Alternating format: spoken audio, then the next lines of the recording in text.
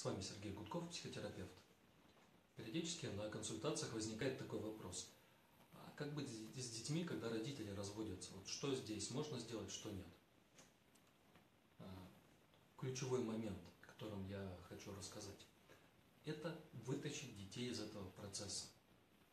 Потому что самое плохое, что вы можете сделать, вот самое ужасное, самое отвратительное, если хотите, это вовлечь детей, спихнуть на них часть ответственности.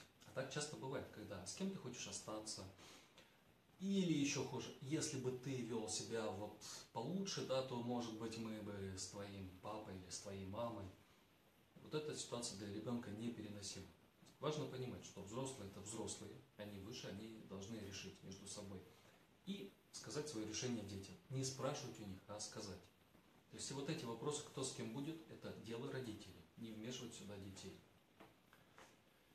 И говорить примерно так, что мы с твоим папой, с твоей мамой когда-то любили друг друга, у нас были отношения, но сейчас это закончилось. Мы будем жить вместе, при этом мы навсегда останемся твоими папой, мамой.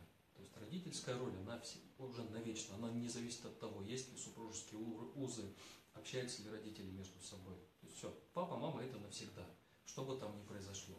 То есть довести до ребенка, что папа останется папой, мама останется мамой. Вот. Сказать, что, ну, особенно когда ситуация позволяет, что мы тебя, если уж кто-то из родителей не вел себя совершенно неадекватно. Мы тебя любили, любим и продолжаем любить. И папа тебя любит, и мама тебя любит, и будет, будут дальше любить. Ты будешь видеться э, и с папой, и с мамой, даже если мы будем жить отдельно. Вот.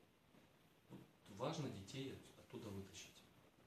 Что еще можно добавить? Можно сказать, что то, что между нами произошло, это наше дело. Ты ничего не мог сделать, чтобы там, спасти наши отношения или как-то ухудшить их. Ты тут полностью ни при чем. То есть мы взрослые, это мы решили. А ты ребенок, это твое детское дело, э, оставаться ребенком и знать, что папа и мама всегда будут ими. Что бы там ни происходило между ними, как между мужем и женой, между мужчиной и женщиной. Вот так.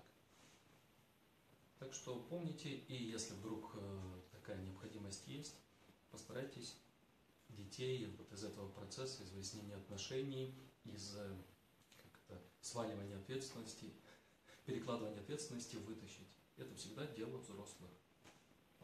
Точка. Если будут вопросы, пишите в комментариях, пишите в личку, по возможности отвечу.